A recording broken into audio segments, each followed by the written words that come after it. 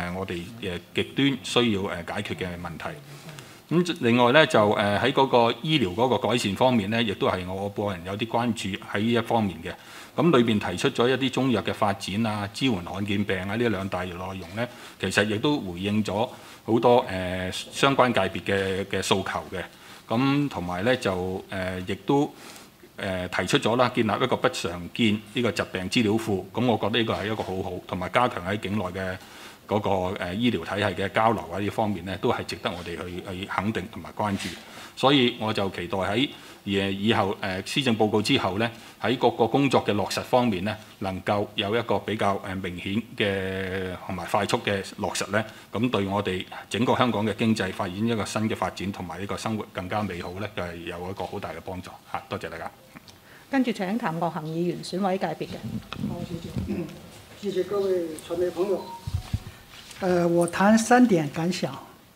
第一点呢，特首今天在开篇和结尾两处都强调为市民谋幸福、为香港谋发展，体现了本届政府以人民为中心、一切为了人民的施政理念。我高度赞赏特首提出的为市民谋幸福、为香港谋发展这个施政出发点。作为议员。也要更好地着眼于为市民谋幸福，为香港谋发展。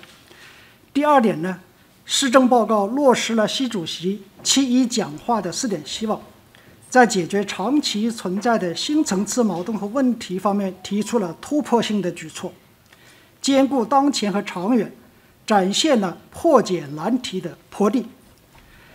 特别是关于人才方面，感谢特首。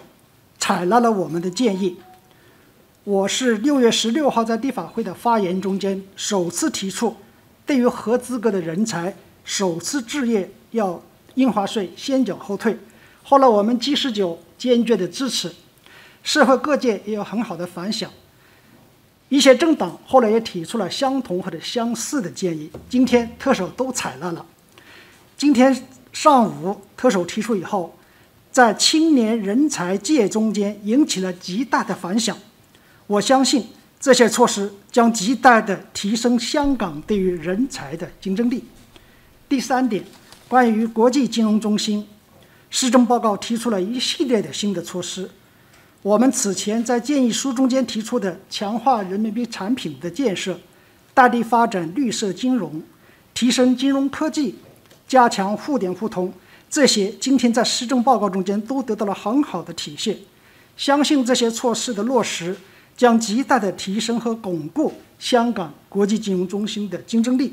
最后，感谢特首聆听和广泛的吸纳了我们的建议，感谢特首充分重视行政立法关系。谢谢。最后呢，就到我自己了，我就係选委界别嘅简惠敏。